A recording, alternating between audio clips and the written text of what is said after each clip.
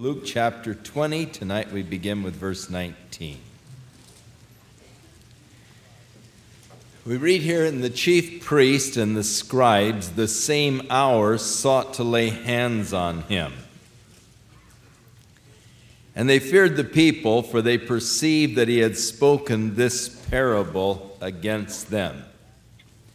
So, this scripture takes us back to the text just previous in which Jesus, in talking to the scribes and the Pharisees, gave to them a parable about a certain man who had a vineyard. And he went away to a far country for a long time. And at the season, he sent back a servant that he might receive the fruit from the vineyard but they mistreated the servant and sent him away empty. So he sent another servant, finally, a third servant. And finally, the Lord said, I'll send my own son. Surely they will honor him. But the husband, when they saw him, reasoned among themselves, saying, This is the heir. Come, let's kill him that the vineyard may be ours. The inheritance is ours. So they cast him out of the vineyard and killed him. And what therefore shall the Lord of the vineyard do unto them? He shall come and destroy these husbandmen and give the vineyard to others. And when they heard it, they said, God forbid. Now they knew that the vineyard was a parable that dealt with the nation Israel. In Isaiah, the figure of the vineyard is used for the nation of Israel. Where the Lord speaks of the vineyard that did not bring forth the fruit that he desired. And therefore, he allowed it to just go sort of wild, brought forth wild grapes. And so Jesus is picking up this parable of the vineyard. He gives it a little different slant. The Lord is still looking for fruit from his vineyard. Sends back servants who are mistreated, sent away empty. Finally, sends his only beloved Son, figuring that surely they will reverence him, but instead they plot his death. Now, it is interesting, at this point, already they have plotted the death of Jesus. As we look in John's Gospel, chapter 8, after the raising of Lazarus from the dead, they had a meeting and they said, What are we going to do? This fellow is doing so many miracles, everybody is turning to him. And if this continues, the Roman government is going to come and take away our place. We're going to lose our jobs. And Caiaphas, being the high priest, said, You don't really understand things, fellows. Don't you realize that one man is going to have to die for the nation, that the whole nation might be saved? And so they had already begun their plotting of the death of Jesus. Thus, as Jesus speaks this parable, the Father sends his only beloved Son to gather the fruit, and they say, You know, here's the heir, let's kill him, and then the whole inheritance will be ours. And Jesus said, What will the Father do? He will surely take away the vineyard and give it unto others. And they cried out, God forbid. But uh, they, they realized that he understood their plots. They, they rightly discerned that this parable was spoken against them. For he went on to quote from Psalm 118 concerning the stone which was set of not by the builders, the same has become the chief cornerstone. And upon whomsoever that stone, whosoever fall upon the stone will be broken, upon whom the stone falls it will grind him to powder. So at that point, when the chief priests, the scribes, in the same hour they sought to lay hands on him. Now, their desire to lay hands upon him is really apprehending him or arresting him. They really wanted at this point to arrest him and to get him out of the way. It was a violent apprehending of him that they were desiring at this point. But they reasoned among themselves, realizing that if they did this, the people at this point would turn against them because still uh, they were listening to Jesus and he had the ear of the people. So they didn't lay their hands on him for fear of the people. These people, these men, were astute politicians. They had their ear to the popular movement. They followed the trends and the attitudes. That they were always conscious of what the general attitude of the people was in order that they might sort of play along with what is uh, the popular movement at this time. Looking and testing the pulse of the people, and right now the people were towards Jesus, so they, they had a problem. They wanted to lay hands on him. Uh, they couldn't lay hands on him. At this particular point, it wasn't a wise move from a political standpoint.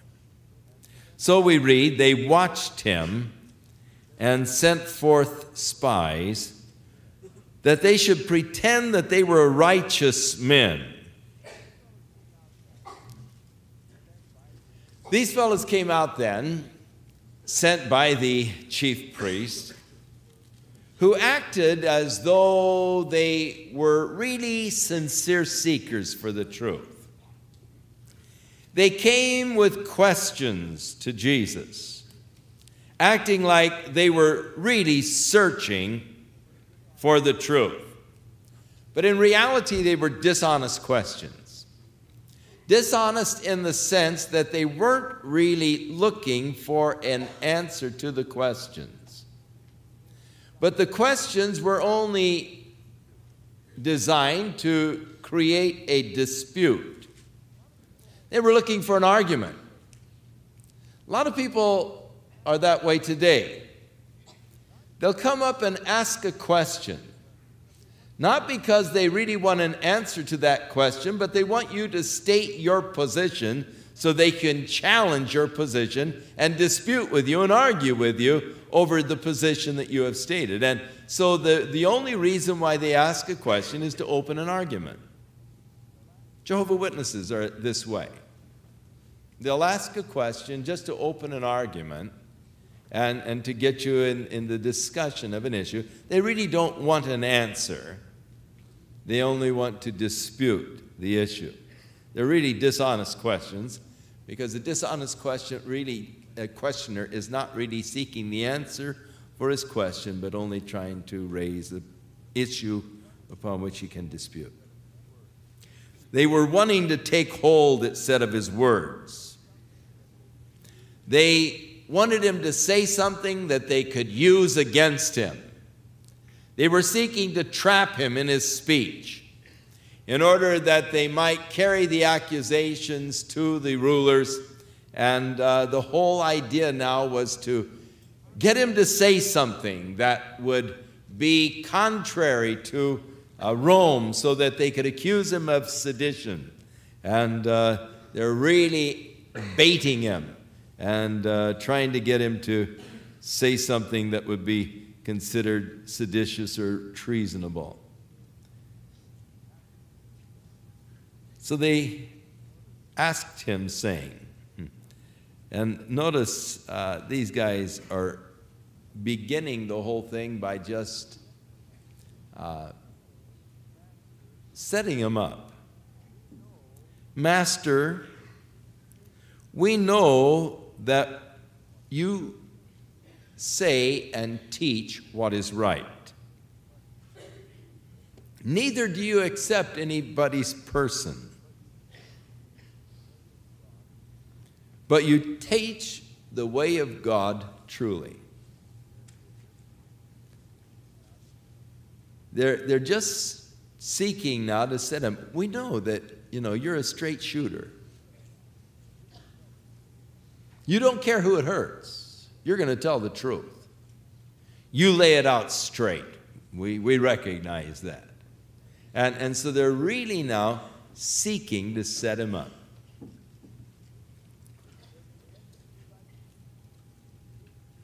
They're pretending to be righteous men.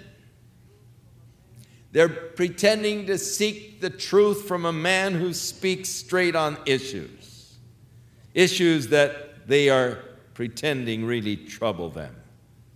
And they want him to give a frank and an honest answer. And so then they spring the question Is it lawful for us to give taxes to Caesar or not? Now, they really figured that they had Jesus in a catch 22. They figured that there was no way out for Jesus. Either a yes or a no, he condemns himself. It's a very clever question indeed. If Jesus says, Yes, it is right to give taxes unto Caesar, and these taxes that they are referring to here are the personal taxes that were levied by the Roman government just because you existed. You had to pay to live, to be alive. And it was one of the most unjust of all taxes, and they hated it. In fact, this particular taxing caused a rebellion. It caused a real revolt at one time among the Jews this particular taxing, and all of the Jews hated this taxing. Now, if Jesus said, Yes, it is right to pay this tax unto Caesar, then all of the people who have been listening to him, these people that have been listening intently to what he has to say, they're going to say, Wait a minute, this guy is a Roman collaborator. We don't want to follow him. And so he will lose the popular appeal that he presently has with the people if he tells them, yes, they should pay this tax to Caesar. On the other hand, if he says, no, you shouldn't pay this tax, it's an unfair tax then they will immediately march down to the Roman governor and they will say, This man is guilty of sedition. He is trying to incite the people to riot against Rome. He's telling them they ought not to pay taxes to Caesar. And he would be arrested and accused of sedition. So they really thought they had him trapped. He's, there's no way out for him either a yes or a no answer is gonna gonna nail him. And and so they it was a clever question. You have to give them credit for that. They really thought this one through. It was really a clever question. So Jesus, perceiving their craftiness, said unto them, Why do you tempt me? It's a mistake to think that you can deceive Jesus. You know, they might come pretending to be righteous men, pretending to have honest questions, but Jesus saw right through them. Any person who attempts to deceive God is himself the one who is really deceived.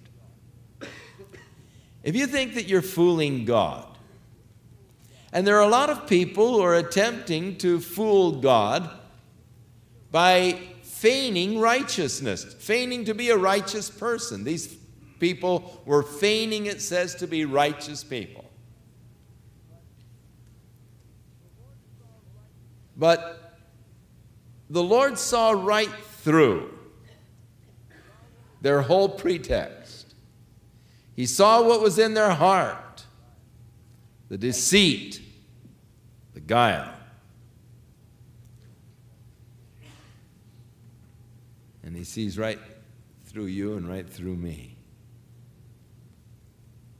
And then he said unto them, Show me a penny. Literally, a denarius. It was a Roman coin that was equivalent to a day's wage for a laboring man. In another parable of Jesus, you remember that he gave the parable of the man who had a vineyard uh, that he wanted harvested or his fields harvested, and so he came into the marketplace in the morning and he found some men standing there, and he said, Go out and labor in my field today, and I will give you a denarius for your day's wage. And the men agreed it was a fair wage for the day. And so, give me a denarius, he said. It is interesting to me that Jesus didn't have a denarius on him, on his person. In fact, it would appear that Jesus just didn't carry money with him.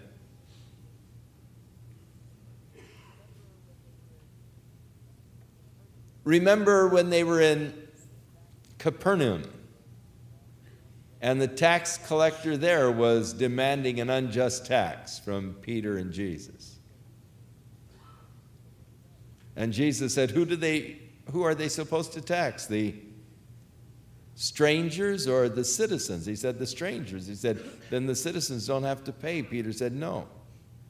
And I'm sure they said this in front of the tax collector who was standing there trying to collect the tax. And Jesus is just pointing out to him, you know, that he's making an unjust demand. But Peter said, So the guy won't be offended, go. Uh, Jesus said to Peter, So that you won't offend the guy, go catch a fish and take the coin out of his mouth and give it to this guy. And, uh, but Jesus didn't have coins with him, he didn't carry money. I don't know that Jesus ever did carry money. The Bible tells us that Judas was the one that carried the purse for the disciples, and that Jesus was actually supported by wealthy women who ministered to him out of their substance. There were a group of women, Acts, I mean, Luke, the eighth chapter, tells us the names of some of those women that actually were supporting Jesus' ministry.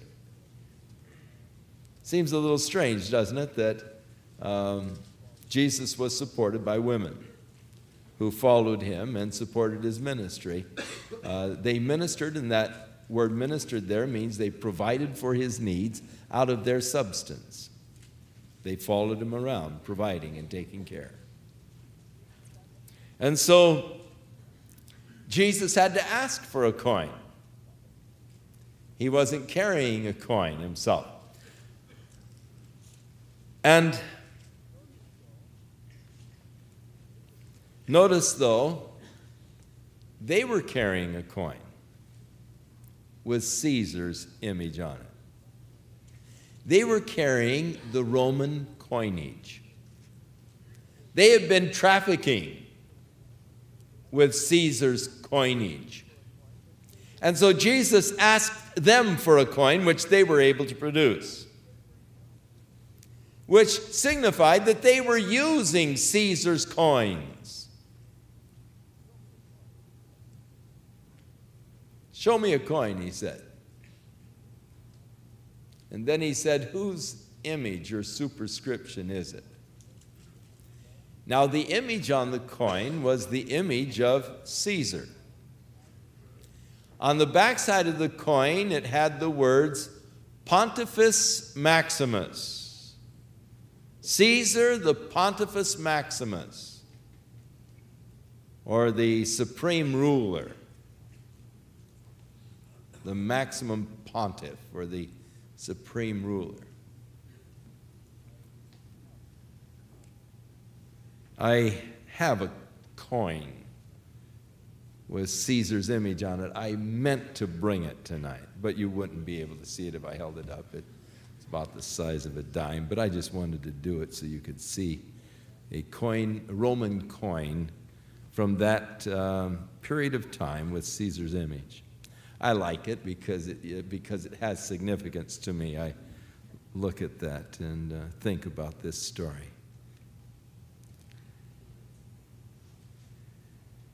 And so they answered him, Caesar's. And he said unto them, Render therefore unto Caesar the things which are Caesar's, and unto God the things which be God's. Give to Caesar. That's, you say it has his image on it, then give it to Caesar.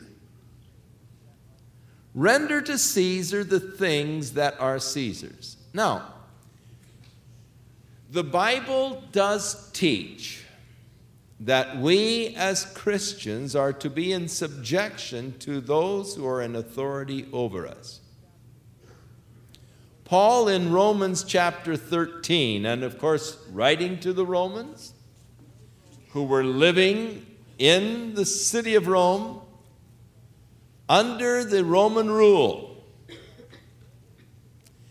He says to them, Be in submission or subjection to those that are in authority over you.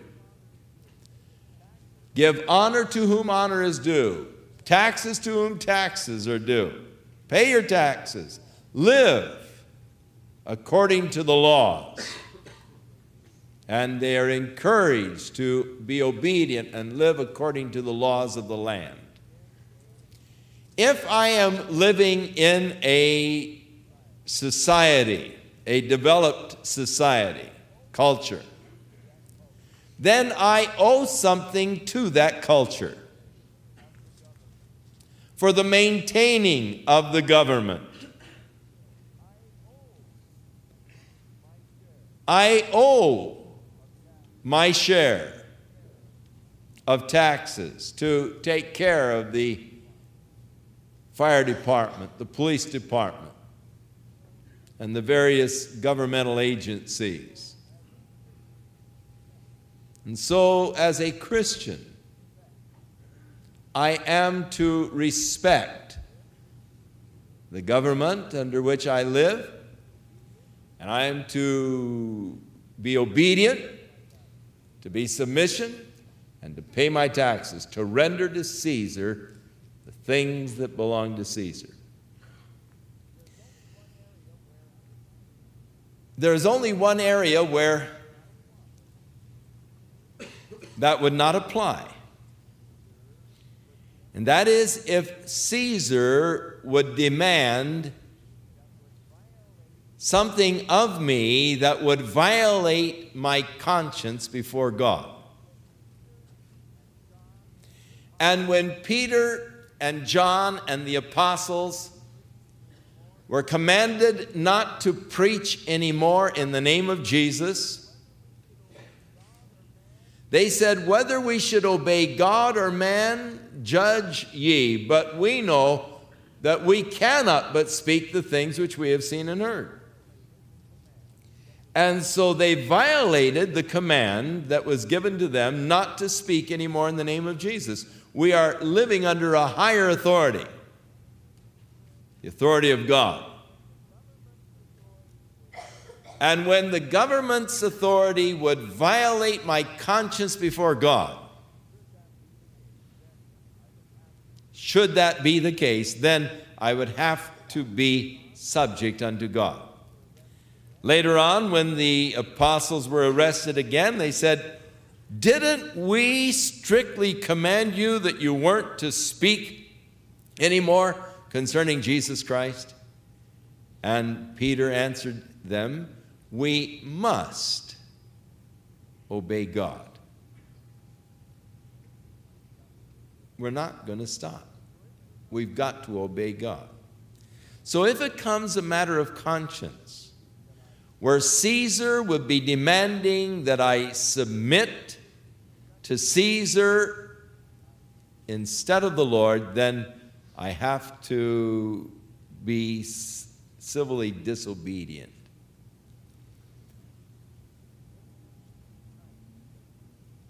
In the times of the early church, thousands of believers were martyred because of their refusal to say that Caesar is Lord. As they were lighting the fires to burn them at the stake, they would just say, Say, Caesar is Lord, and we will stop. And they would beg and implore them to just say, Caesar is Lord. Fox's Book of Martyrs tells of some of the young people, teenagers that were martyred, and how the executioners really didn't want to kill them and just begged them almost, pleaded with them, just say, Caesar is Lord. But they would refuse to do it because that would be in violation of their conscience, knowing that Jesus is Lord. And thousands of them were disobedient to the civil government because the civil government was requiring something of them that would have violated their conscience before God. So, when it comes a matter of conscience, my conscience before God, I must obey God rather than man. But in the issues that are not a matter of conscience, say, well, it bothers my conscience to just drive 55 miles an hour on the freeway, you know. I, I feel that's restricting to me. I, I would rather drive 100 miles an hour. Well, uh, I'm afraid that doesn't count. Uh, that's not a, a, you know, a legitimate uh, violation of conscience.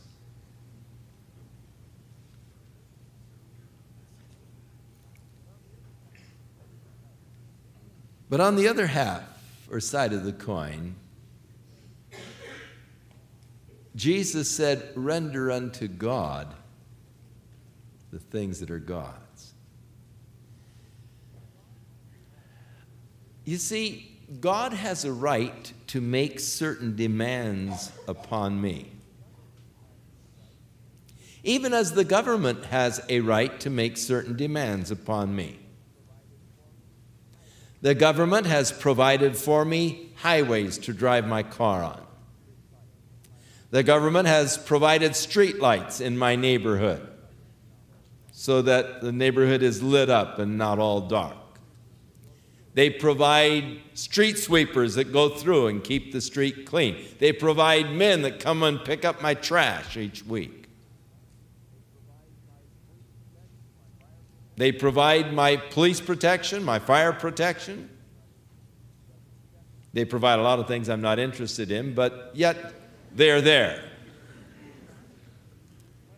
And thus, because they are providing these things for me, I have a certain obligation to them. And it is right that I discharge that obligation, that I render to Caesar the things that are Caesar's. But, in the same token, God has provided me with life. I owe my life to God. He has provided me with health. He has provided me with strength. He has provided the air that I breathe, the water I drink. And when you really get down to it, I owe a lot more to God than I owe to the government. Sometimes I think I might be able to get along pretty well without the government especially some of the government agencies. In fact, if I could, I would abolish a lot of them. But I could never get along without God. I've often wished that, you know, I could escape to an island in the South Pacific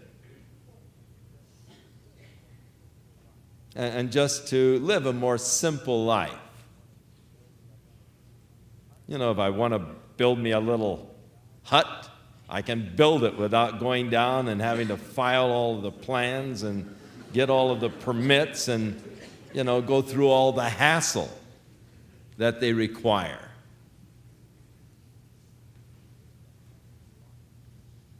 I hate that kind of bureaucracy. I can't abide it. But I could never get along without God. I might be able to get along without government. I could never get along without God. I owe God so much, my life itself. And thus, in rendering unto God the things that are God, because my life really comes to me from God, I owe my life to Him, therefore I should render unto God my life. Paul said, I beseech ye, therefore, brethren, by the mercies of God, that you present your bodies as a living sacrifice, holy and acceptable unto God, which is your reasonable service. It's a reasonable thing that God would demand that I present my body unto Him, my life. Rendering unto God the things that are God's. I owe to God a debt of love, gratitude, praise thanksgiving. To the government, we owe for the material things. To God, we owe for the spiritual things. And our debt to God is much greater than the debt to the government. And so many times we take the first part, render unto Caesar the things that are Caesar's. We say, yeah, we should do that. But we skip that second part and we are not really rendering unto God those things that are rightfully His. And how important that we take the second half of the injunction of Jesus and we render unto God the things that are God's. Now it says they could not take hold of his words before the people, and they marveled at his answer, and they held their peace. I imagine at this point they were shaking their heads. They were sure that they had Jesus trapped. They were, they were certain there was no way out. This is catch 22, man, and it's greatest form, you know. Yes or no, he's trapped. We've got him. And when Jesus gave them the answer, they were just flabbergasted. I mean, it was so right on. He didn't offend the people at all, and he didn't offend the government. You know, he, he was going to surely offend one or the other. He had to, but he came out clean. And notice the threefold effect upon them. First of all, they could not take hold of him because they could not catch him in his words. They couldn't trap him. And so they, secondly, really marveled at his answer. I'm sure that there was a tremendous admiration that they had. I mean, they thought, wow, that's sharp. That's good. He really slipped out of that one. and the third thing is they held their peace. They had to. Nothing they could do. So, the first group failed. So the next group comes up. And they've got a question that has always stumped everybody. And so they'll throw their question at Jesus because no one has been able to have an answer for this question. It's sort of that question, sort of like, where did Cain get his wife? You know, it was one that was always being asked by those who were of the Sadducean persuasion. It was their coup de grace in any argument. They would bring up this particular question and always win the day. It was a hypothetical case. It uh, was an interesting question that no one could adequately answer for them. and thus seem to always prove their point as being right. We'll look at this question next Thursday night. as Jesus gives these boys their comeuppance. Shall we pray?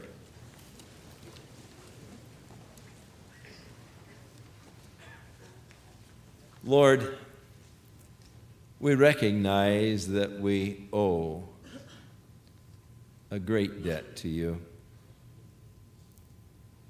A debt so great that we can never pay it.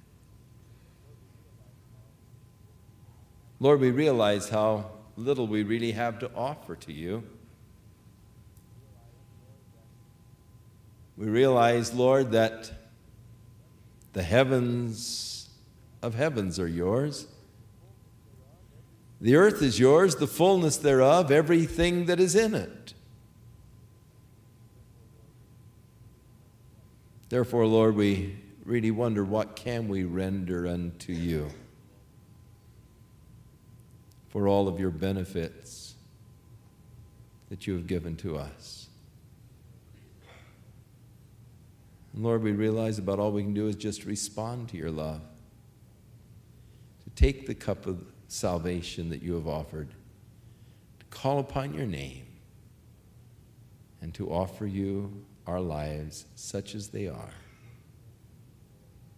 And so we render unto you, Lord, our praise, our love, our thanksgiving. through Jesus Christ. Amen. Shall we stand?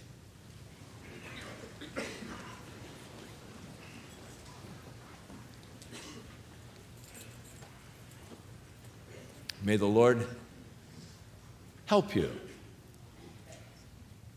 as you consider just what you should be rendering unto God.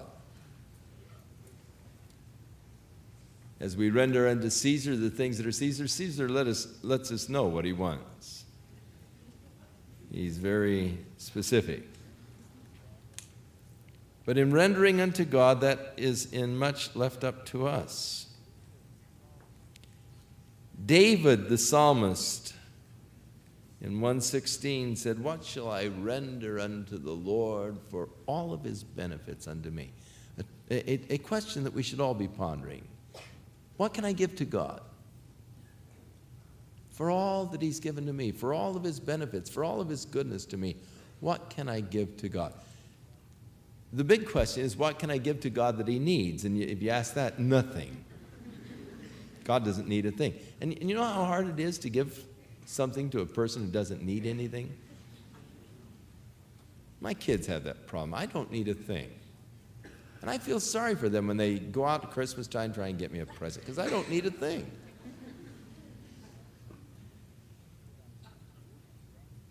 I mean, if I need a tool, I go out and get it.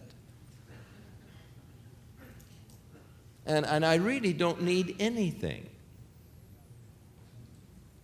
And if they buy me a tool, they buy me a cheaper one than I would have bought myself. You know.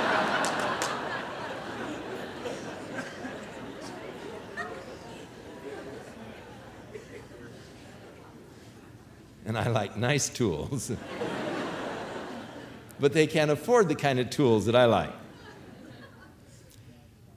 And yet they want to give dad something, and, and I do feel sorry for them in, in this dilemma of what shall we get dad for Christmas.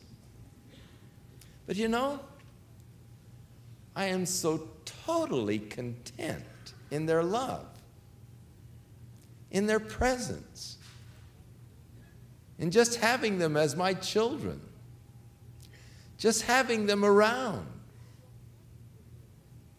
that they don't have to give me a thing. So filled with joy, just having them as my children. And you know, with God, what can you really give to God that He needs? Not a thing. He can afford so much more than what you could ever give. That it's just having you as his child. just having you around, just having that fellowship with you, that nearness with you. That's what God desires. Oh, that we would give Him our hearts, our time, spending time with Him, sharing special times with Him. That's what He longs for.